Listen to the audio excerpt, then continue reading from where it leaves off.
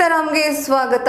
ನಾನು ನಿಧಿ ರಾಠೋಡ್ ಬೆಂಗಳೂರಿನಲ್ಲಿ ನೀರಿನ ದರವನ್ನ ಏರಿಕೆ ಮಾಡೋದಾಗಿ ಡಿಸಿಎಂ ಡಿಕೆ ಶಿವಕುಮಾರ್ ಘೋಷಣೆಯನ್ನ ಮಾಡಿದ್ರು. ಅವರು ಸುದ್ದಿಗೋಷ್ಠಿಯನ್ನ ನಡೆಸಿ ಪ್ರಾಪರ್ ಆಗಿ ಈ ಬಗ್ಗೆ ಮಾಹಿತಿಯನ್ನ ಹಂಚಿಕೊಂಡಿದ್ರು. ಈ ಸಂದರ್ಭದಲ್ಲಿ ಅವರು ಕೆಲವೊಂದಿಷ್ಟು ಮಾತುಗಳನ್ನು ಆಡಿರ್ತಾರೆ. ಜನರಿಗೆ ಎಷ್ಟೇ ಉಪಕಾರ ಮಾಡಿದ್ರೂ ಪ್ರಯೋಜನ ಇಲ್ಲ. ಒಳ್ಳೇದು ಮಾಡಿದ್ರು ಬೈತಾರೆ, ಕಮೆಂಟ್ ಮಾಡ್ತಾರೆ, ಕೆಟ್ಟದ್ ಮಾಡಿದ್ರು ಕೂಡ ಬೈತೆ ಬೈತಾರೆ. ಹಾಗಾಗಿ ಈ ಬಾರಿ ನಾವು ನೀರಿನ ದರವನ್ನ ಏರಿಸ್ತೀವಿ ಅಂತ ಹೇಳಿದ್ರು. ಜಲಮಂಡಳಿ ಲಾಸ್ ಅಲ್ಲಿದೆ ಅಂತ ಕೂಡ ಹೇಳಿದ್ರು. ಜಲಮಂಡಳಿ ಹತ್ರ ವಿದ್ಯುತ್ ಬಿಲ್ ಕಟ್ಟೋದಕ್ಕೂ ಕೂಡ ದುಡ್ಡಿಲ್ಲ.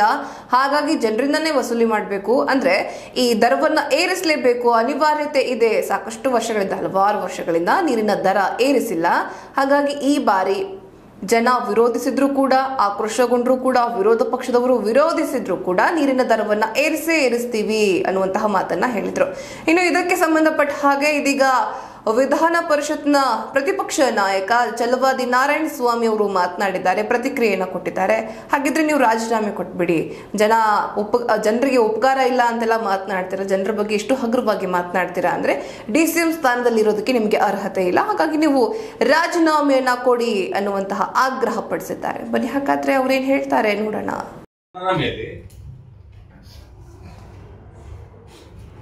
ಕಾಂಗ್ರೆಸ್ ದೌರ್ಜನ್ಯ ವಿಶೇಷವಾಗಿ ಉಪಮುಖ್ಯಮಂತ್ರಿಗಳಾಗಿರ್ತಕ್ಕಂಥ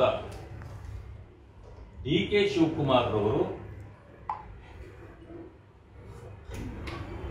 ಈ ಬೆಂಗಳೂರಿನ ಜನರಿಗೆ ಕೃತಜ್ಞತೆ ಇಲ್ಲ.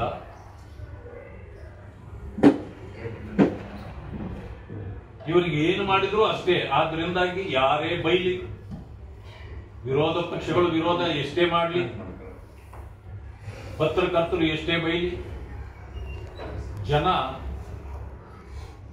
ನಮಗೆ ಕೊಟ್ ಕೊಟ್ಟಿದ್ದಕ್ಕೆ ಅವರು ಬೈತಾರೆ. ನಮ್ಮನ್ನು ಉಪಯೋಗಿಸ್ಕೊಳ್ತಾರೆ, ಆಮೇಲೆ ನಮ್ಮನ್ನು ಬೈತಾರೆ. ಆದ್ದರಿಂದ ನೀರಿನ ಬೆಲೆ ನಾನು ಯಾವುದೇ ಕಾರಣಕ್ಕೂ ಹೆಚ್ಚಿಸದೆ ಬಿಡೋದಿಲ್ಲ ಅಂತಕ್ಕಂಥ ಉದ್ದಟತನದ ಮಾತುಗಳನ್ನು ಮಾನ್ಯ ಉಪಮುಖ್ಯಮಂತ್ರಿಗಳು ಆಡಿದ್ದಾರೆ